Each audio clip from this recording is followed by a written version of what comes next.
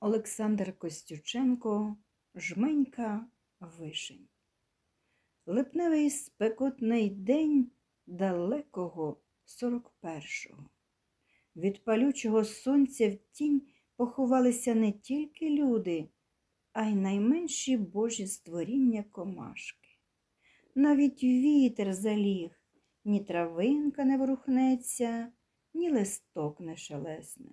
Село ніби вимерло, але блискавкою від хати до хати летіла звістка до тимчасового табору, збудованого за селом на швидкоруч, на півгектарній площі під керівництвом старости Миколи Ворони ведуть колону радянських військовополонених. Селяни забули про спеку, один за одним виходили зі своїх домівок, ставали в очікуванні колони за невисокими тинами. Тихенько про щось перешіптувалися, було чути жіночі схлипування, хтось прикрикнув на галасливу дітвору, яка, не розуміючи, що сталося, бігала попід ноги. Вийшла до воріт і сестра старости, баба Мотря, зі своїм чоловіком Яковом глянути, кого ж це там ведуть. Хижо поглядала на дорогу, по якій ледь волочили ноги сотні молоденьких солдатів, виснажені, голодні, в оточенні собак і конвоїрів з автоматами. Ішли по своїй рідній землі, несли в душах біль і ганьбу полону. Оці юні хлопчаки, запалими від голоду й переляку очима, дивилися на своїх земляків і чекали від них підтримки. Але натомість почули й побачили інше. Зовсім юний солдатик у новенькій гімнастерці з відірваним рукавом, чорнявенький, караокий, безвусий, бо чорний вуз ще не пробився над губою, жадібно дивився голодними очима на вишню затину. Вона рясно була всипана стиглими ягодами, які переливалися на сонці. Були такі соковиті і злегка притрушені придорожнім пилом. Юнак не втримався, ступив два кроки праворуч, простягнув руку і зірвав повну жменю пахучих плодів. Тишу розпанахав вереск і груба лайка баби Мотрі.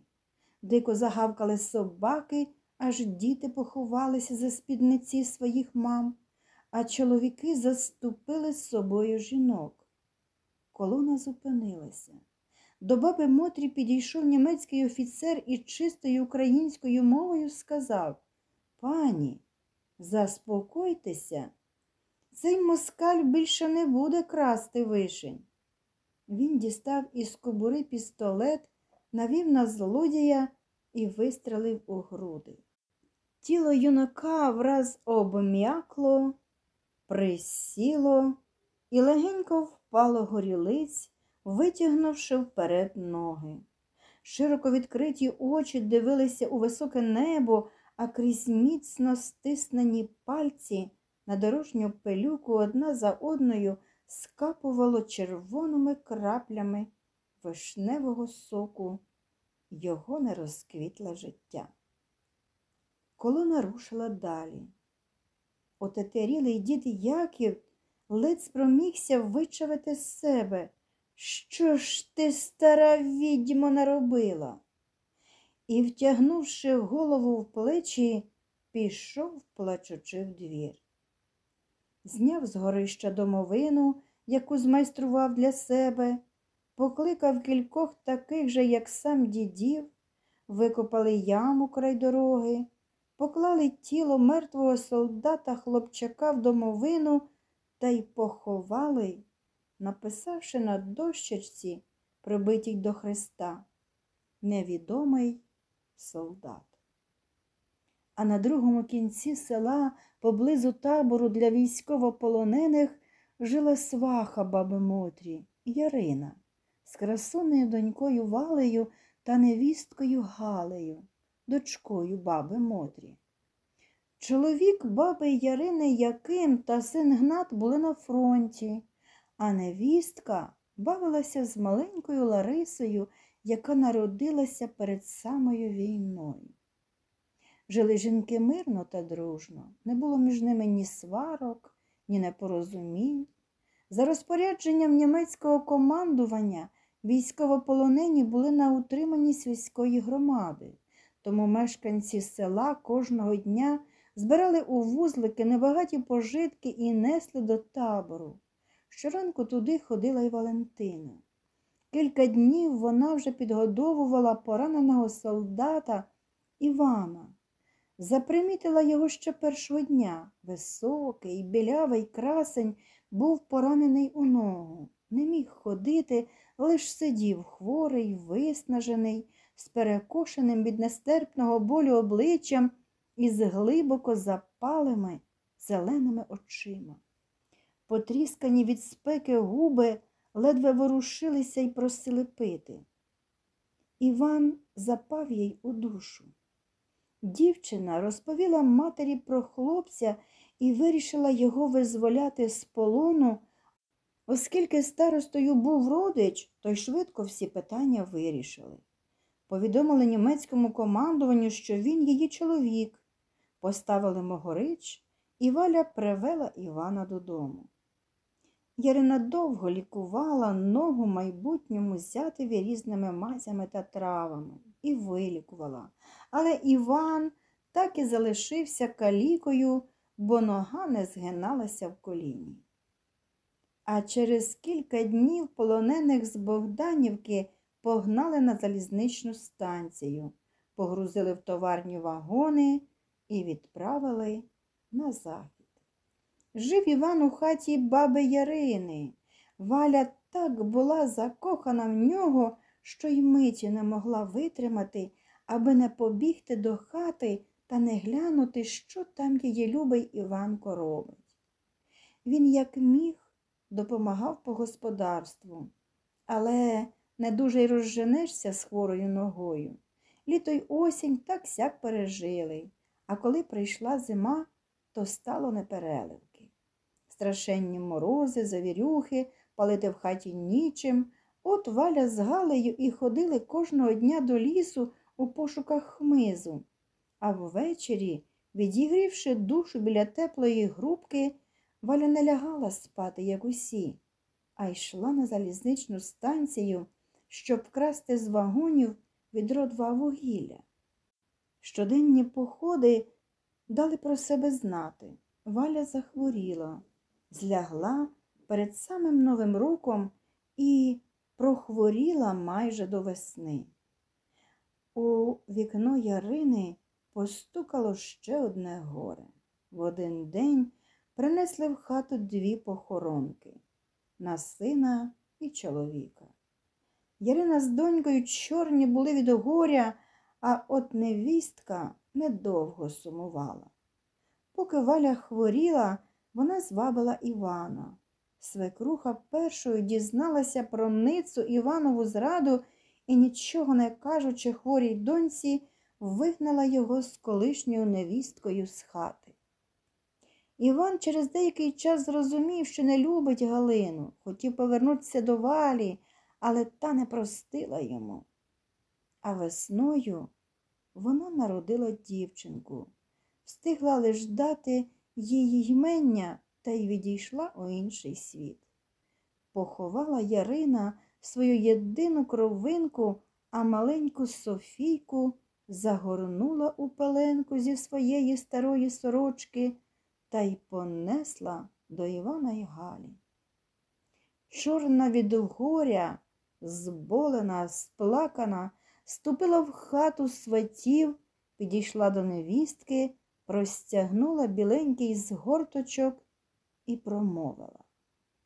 Забрала в моєї донечки чоловіка, забрала її життя, то забери й доглянь її дитя, бо я вже не жилець на цьому світі. Серце Ярини не витримало важких ударів долі, і невдовзі вона теж відійшла у вічність. Поховали її поруч із могилкою доньки, як вона й просила. Після похорону Ярини Галя з Іваном та двома дівчатками Ларисою і Софійкою перейшли жити в її хату. Весною 43-го село було звільнено від фашистів передовим танковим підрозділом. Староста не встиг втекти з німцями і був із танка повішений на акації біля будинку сільради. Його тіло кілька днів гайдалося на мотузці, поки не змилувався якийсь чоловік і не зняв. Дід Яким з горя, яке їло його пойдом середини, безпробудно пиячив і дорікав бабі Мотрі, що всі біди, які звалилися на їхню сім'ю через неї. Якось взимку він пішов з дому і зник. Ніхто його ніде не бачив і нічого про нього не чув. А весною, коли скресли на ставку льоди, знайшли діда у воді з розсіченою головою. Баба Мотря зізналася у вбивстві. Це вона зарубала свого чоловіка і кинула під лід. Її засудили, і з позбавлення волі вона в село не повернулася. А в їхній хаті залишився жити син Петро, кремезний, високий, статний. Закінчив чотиримісячні курси трактористів і працював в колгоспі. Людей сторонився і, хоч показний був, але чогось дівчата його обминали, а може, то він обходив їх стороною. Повертаючись якось увечері з роботи, зустрів двох односельців, які сиділи за пляшкою самогонки. Що? Зібралися два пияки та й жльоганите? А ти давай іди до нас та й третім будеш. Петра неначе хто швайкою в серце штрикнув, підбіг до чоловіків, кинувся на них з кулаками і почав гамселити. Одному вдалося втекти, а другого доти бив, поки тіло стало бездиханним. За вбивство Петро потрапив за грати не на один рік, а коли повернувся додому, то це вже був зовсім не той Петро, старенький, хворий на сухоти, згорблений та беззубий дідок, повернувся до батьківської хати, щоб через кілька місяців померти. Спливали роки, росли дівчатка, чорнява Галинина, а білява валена. Софійка, батькове сонечко, так він її називав за золотисте кучеряве волосся і добру мамину душу, бо дівчинка була, як дві краплі води, схожа на свою покійну матір. Усю свою батьківську любов Іван віддавав донечці, хотів хоча б цим спокутувати свій тяжкий і непростимий гріх перед кинутою і зрадженою валею. Софійка була здібною ученицею, мріяла стати вчителькою. Отримавши атестат зрілості, поїхала вступати до пединституту і, склавши вступні іспити, була зарахована на перший курс. Усе було б добре, та, як кажуть у народі, не з її щастям. Закохалася Софія в свого однокласника Миколу. Кохання було чистим і щирим. Останні літні дні й вечори закохані проводили разом, бо добре знали, що не скоро побачаться. Софійка клялася Миколі в вірності, а хлопцеві не потрібні були її клятви, бо добре знав її й вірив у те, що завжди будуть разом, що ніхто не розлучить їх. Поїхала Софія і повезла під серцем Миколину дитину. А коли перед Новим роком вернулася додому, то зрозуміла, що біда не сама ходить, а з дітками. Три дні сусіди чули в хаті крики батьків і плач Софії. З того часу Софії ніхто більше в селі не бачив. Уже потім дізналися, що її тримали в хаті під замком. Весною народила вона сина, вдома народила. В лікарню її батьки не повезли, бо це ж пляма на їх сім'ю. Через два дні після пологів вона померла, а дитя вночі відвезли до дитячого будинку. На похорон зійшлося все село. Убитий горем Микола, який так любив Софію, збожеволів, дізнавшись про її смерть. На її могилі він днював і ночував, а потім почав топити своє горе в горілці. Мати не могла вернути його до нормального життя, а він і сам не хотів, бо не уявляв себе без Софійки. Прожив він недовго.